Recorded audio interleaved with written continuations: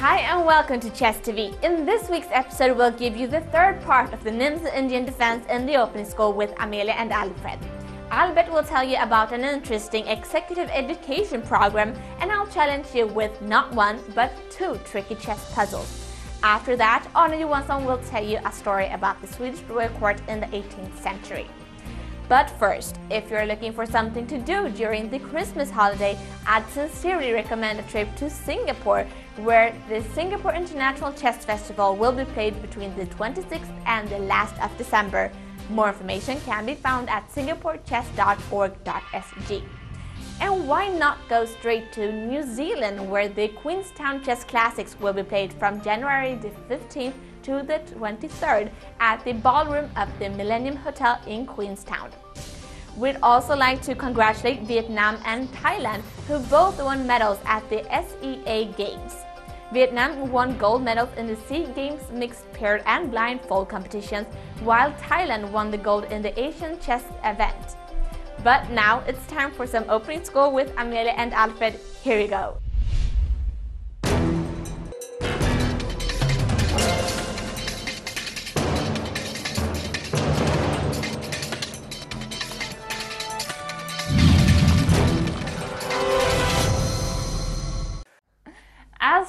Promised, we'll continue with analyzing the Nimzo Indian defense in this week's episode of the opening School. Last week, we saw what happens after White's less popular fourth moves, Queen to b3 and f3. And today, we will analyze one of White's more popular moves. After the introducing moves d4, knight to f6, c4, e6, knight to c3, and bishop to b4, White has lots of moves to choose between, and we'll today see what happens if White chooses to play the Rubinstein variation, which occurs after e3. Now it's Black turn to pick one of several moves. Black can either choose to play castle kingside, c5 or b6. Let's begin with analyzing b6. The move prepares for bishop to b7 and goes hand in hand with the black's plan to target the center by using pieces instead of pawns. Black does now threaten to play bishop to b7, which does not only give him control over the e4 square, but also a very nice diagonal. White can do nothing effective regarding the diagonal, but White can regain some measure of control over the e4 square by either trying to remove the pinning of the c3 knight or by using his pieces to strengthen the control over the square by playing bishop to d3 for example. A knight to e2 is the more popular continuation and the plan is to play a3 and after an exchange of c3 to recapture with the knight, giving white a very nice development. So black cannot allow this to happen after knight to e2 and so he plays bishop to a6, threatening the now weak pawn on c4. As a black player in this line, you always have to be careful not to play the move d5 too early, because if black would have done that instead of bishop to a6 in this position, white's queen to a4 check would win a piece and leave black in a terrible position. White should go on with this a3 idea, because black cannot take on c4 as long as the bishop on b4 is threatened, and after a capture on c3, and white recaptures with the knight, the pawn is protected once again by the bishop on f1. But black can actually use this by playing d5, because it's a question of perspective. You can, see it as, you can see it as if white is protecting the pawn with the bishop, but at the same time, the pawn is pinned, because after d5 and a capture on d5, black can exchange bishop on f1, destroying white's chances for a castle, and after e takes on d5, white has a weak king and a weak bishop. So white should not capture on d5. Instead, he is to protect the pawn on c4 by playing b3. Black should not stop at this point, but instead continue with the attack against the c4 pawn. But before black can do that, he has to protect his king by playing castle kingside. This is quite important because if white would be able to reach a4 with the queen, black would have a tough time trying to protect all of his pieces. After the castle, white plays bishop to e2, preparing a castle, and black plays knight to c6 with the future threat of knight to a5 threatening the pawn on c4. The plan is to force black to take on d5. Maybe white won't lose his ability to castle, but the black squared bishop would continue to be very weak since it's locked in its place by its own pawns. Black can also choose to play bishop to e7 instead of exchanging on c3. The plan is quite simple and it is to use the awkward knight on e2 against white, but even though it could be placed on a better square, it could also be far worse. The pawn on c4 is threatened and so white moves the knight to f4. White has once again used his plan to exchange on f1 by playing d5, and this time white should capture on d5 because after the exchange on f1 and black's recapture on d5, followed by an exchange of knights, white can play queen to h4, giving him an active enough position to compensate for the bad bishop. White threatens to take on d5 in this position, but also to play knight to e6, forking the queen and the pawn on g7, and black cannot take on the knight since the pawn is pinned. Black should here play bishop to g6, 5, and now follows knight to e6, g6, queen takes on g5, f takes on e6, and an exchange of the queens on d8. The white bishop is still weak, but since we have reached an endgame, white can advance with his pawns and release it. Black can also play c6 instead of bishop to g5, but it leads to a less favorable position for black after knight to e6, g6, queen to e5, bishop to f6, knight takes on d8, bishop takes on e5, knight takes on f7, king takes on f7, d takes on e5, knight to d7, and f4. White is a full pawn up and a very important advantage, and often doubly so when in the endgames. After this continuation, the best black can hope for is a draw, and that is if white makes some major mistakes the position we get from playing the Rubinstein variations are very interesting and a lot happens in the games which follows. But we will end this week's episode of the Opening School here and we'll be back again next week with even more on the Nimzo Indian. So see you then.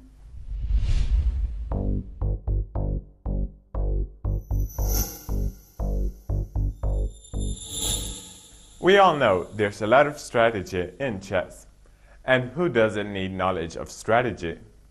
It used to be the coveted knowledge of kings and world leaders, nowadays more popular in the corporate world.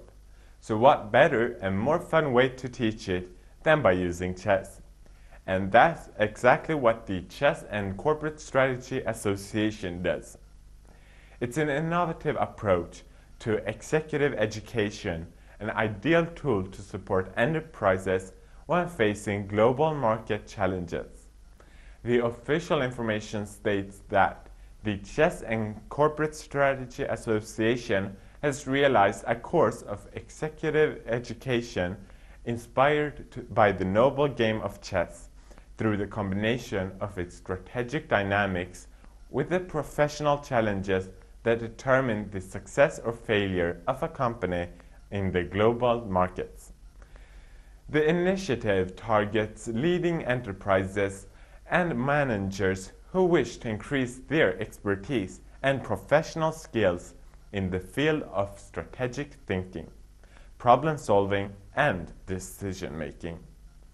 If you're not completely sold to the concept and link between chess and corporate strategy, yet this might help.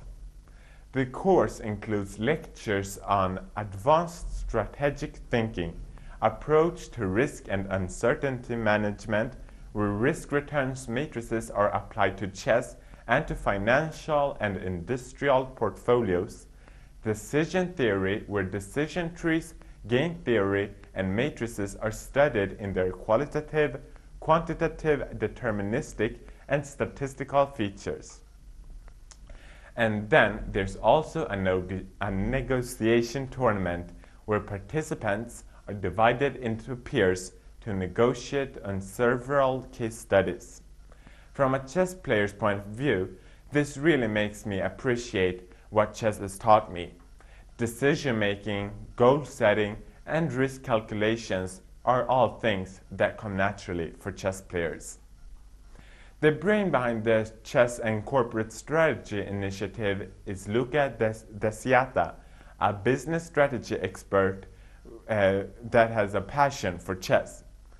On November the 26th, the first Chess and Corporate Strategy Prize will be awarded at the prestigious Villa Lazzaroni in Torre di Quinto 58 in, in Rome.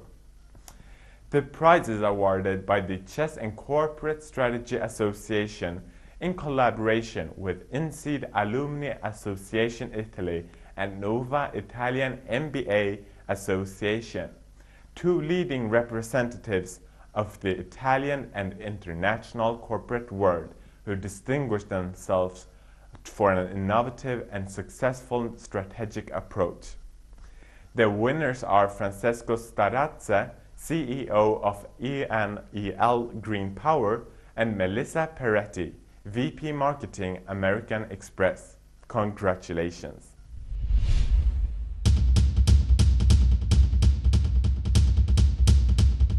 In order to see yourself as a true chess player, you almost have to know the immortal game, a true work of art in chess.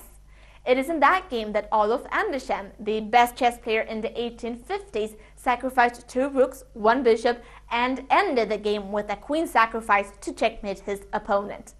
But we've already had the last moves here on Chess TV as a puzzle, so in this week's episode, I thought it would be great to search for the last moves that Olof Anderssen played into other of his games. The first puzzle we'll look at, Anderssen played against Jean Dufresne in 1852 as white, and just as in the mortal game, Anderssen sacrificed almost all his pieces, namely a piece, a rook, and his queen. I'll give you one minute to find the checkmate in three moves that white performs on black. Good luck.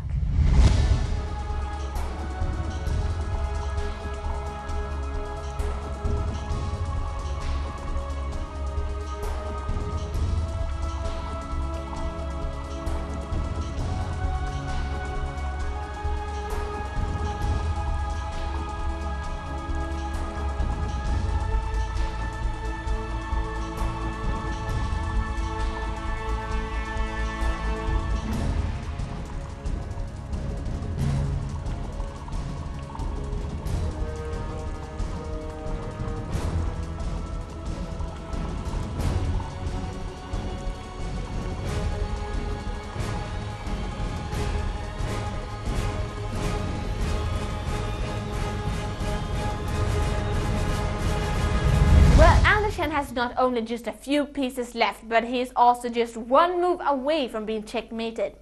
In these puzzles, where we know that we are only one move away from being checkmated ourselves, we know that we must check in all our moves. This knowledge helps us to sift out 11 moves, two of which still seems as fairly possible answers, namely bishop to f5 and bishop to b5. Bishop to b5 check forces black to move the king due to the double check. When the king goes to c8, we can play bishop to d7 check, and then black's only move is to king d8, after which we can checkmate with bishop captures on e7 checkmate. But on bishop to b5 check, black can get away with his king to e6 too. In order for ourselves not to get checkmated, we must check black again. But in the next move, he captures our f6 pawn, and then we become a very easy target. Bishop to f5 check, however, blocks the e6 square, but lets go of this c6 square instead. So what happens now after king to c6? Well, white can play bishop to d7, and amazingly enough, it is checkmate. On black's other option, king e8, we play bishop to d7 checkmate. And if black plays king d8, we checkmate by playing bishop captures on e7, and that's also what we play on king to f8. The next chess puzzle was played by a 21 year older Anderssen, and even this game started in the Evans Gambit, a gambit in which black is often not allowed to castle. In this game, Anderssen has sacrificed only two pawns, but yet his opponent, none other than Salman Rosenthal, is in great danger. So, one minute, four moves, white wins, good luck.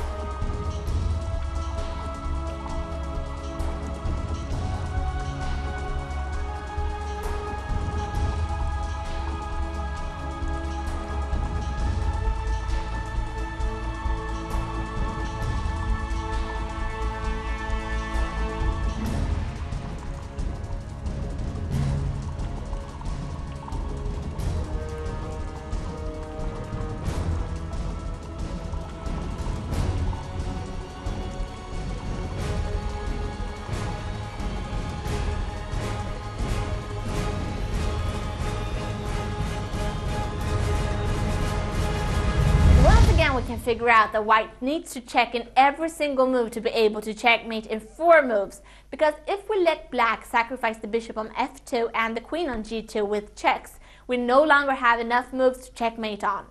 But the problem is that we can find five different checking moves, but none of them really stand out as a good one. Before you start to sift through your candidate moves and analyze one move after the other, it's a good idea to analyze the situation from a strategic point of view first. We see that it would be a great thing if we just could open up the line for the rook to the king. And that's actually easier than you first might think.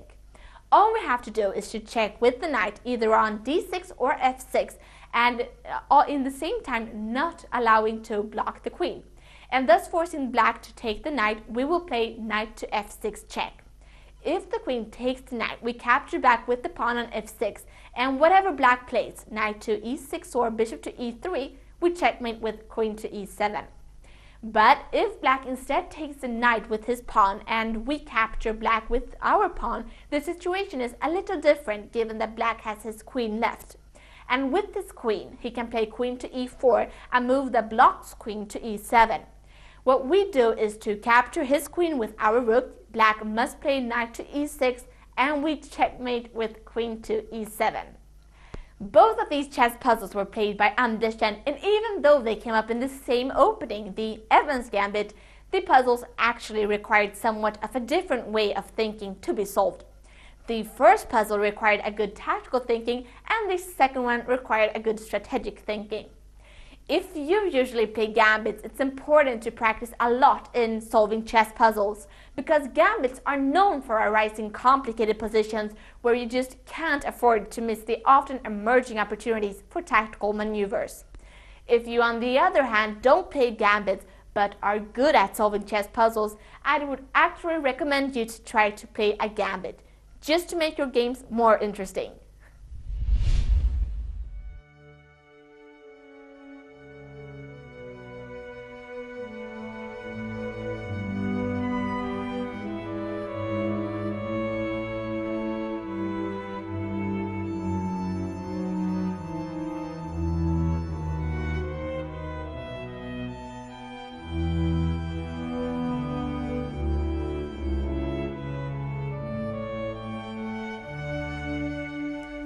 During the recent visit to the National Arts Museum here in Stockholm, we could show a fantastic piece of furniture made in silver and containing a chessboard. It had been standing in the grand bedchamber of Queen Hedvig Eleonora. It was recorded in an inventory of furniture from 1715, which is the year she died. It was probably manufactured sometime around the year 1700 if she really had played chess on that board is not known, but if we move forward a bit in history, we encounter a more well-documented interest in chess at the Swedish court. By digging in the inventory registers of the museums here in Stockholm, I have found some traces of chess interest from the King Adolf Fredrik, who gave a very special chess set to his wife, Queen Lovisa Ulrika and I hope we can return to this in a later episode. The gift from Adolf Fredrik to Lovisa Ulrika that otherwise had made a mark in history is the so-called China Castle in the park of Drottningholm. Lovisa Ulrika is mentioned in encyclopedias for her broad cultural interest and not least her interest in the game of politics. But she also appears to have been interested in the game of chess. This is what she looked like according to Wikipedia during her period as queen. The topic I will say a few words about today is a somewhat strange portrait hanging in the Gripsholm castle. It portrays an odd person in Swedish history and has a clear coupling both to Lovisa Ulrika and to chess. Before we take a look at this painting, I will mention a few facts about the background of this person. His name was Adolf Ludwig Gustav Fredrik Albert Badin, but his original name was Couchi, and in Sweden he was simply called Badin, or possibly Badin if it should be pronounced in a French style.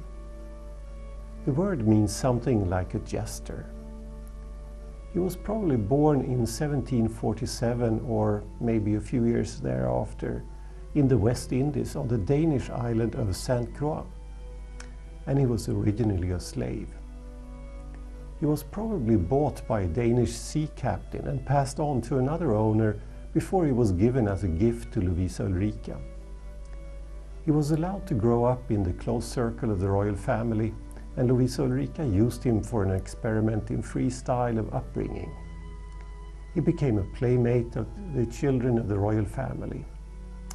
He was described as somewhat wild but became very popular and turned out to be quite intelligent.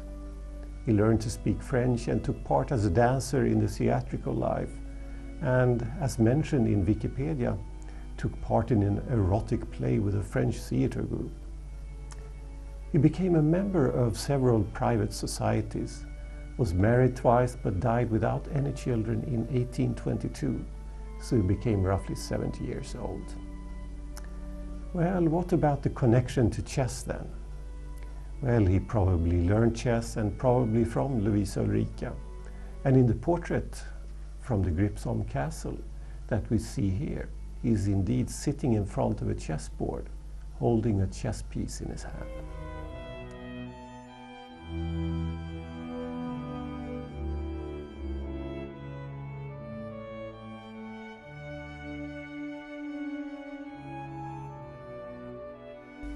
Well, with that little uh, episode in the chess history, we end for today, but we'll return again next week, so see you then.